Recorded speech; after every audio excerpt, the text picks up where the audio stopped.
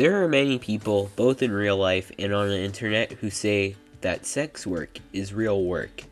However, they are wrong about this for multiple reasons. First of all, some of these sex positive people may say that since one can get paid for being a prostitute and they have to complete a task for it, then it's real work. Like having to change into a revealing outfit, for instance. Such work. This is terrible logic because with it, working in the mafia is also real work, as they also get paid for completing tasks, most of the time requiring much more work than being a harlot. Very few call what organized gangs do real work, because what they do is immoral and does not benefit society in any way. It harms society. The same can be said about sex work. And that brings us to the actual um, part of the argument, which is immorality. What makes sex work immoral is that something meaningful for the human species is reduced to only the feeling of pleasure it creates, a monetary exchange. People who view sex work as a legitimate career generally claim that the only thing that makes their work considered immoral is religion and cultural taboos. But what they forget to account for is that there are reasons for these taboos in culture and religion. Every living thing has a purpose to reproduce, including humans. Even a biologist will tell you this. This is why when humans have sex, it creates heavy spikes in dopamine.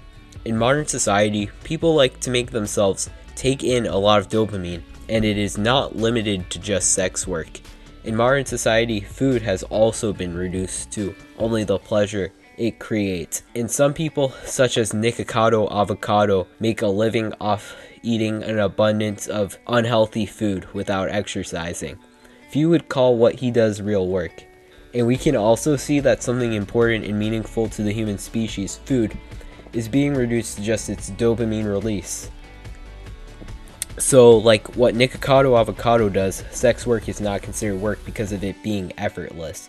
Unlike working in the mafia, which at least requires some effort, sex work requires pretty much no effort.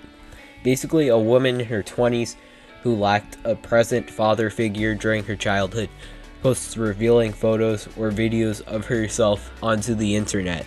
This could be on TikTok, where 11 year old boys can see it, or Pornhub, where 11 year old boys can also see it. Whatever specific type of prostitution these sex workers engage in, the only work they are performing is being used by horny men who only see them as objects of pleasure. If that is real work, then whichever foods Nikocado Avocado is eating are engaging in real work too because the foods are being used for dopamine spikes by Mr. Avocado. What pro sex work people regard as fake work is being a landlord for some reason. Like, you, I don't get why that comparison exists, but that's something people use, at least I've seen it on the internet. And I don't think this is a fair comparison at all.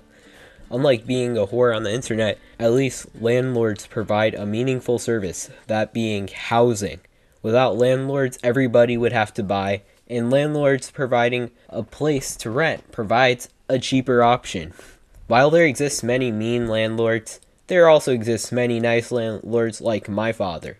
Anyways, whether it be the effortlessness, the reduction of a meaningful thing to a sensation of pleasure, or immorality, sex work is not real work, and anybody who thinks so is incorrect. Enjoy your day, people, and bye.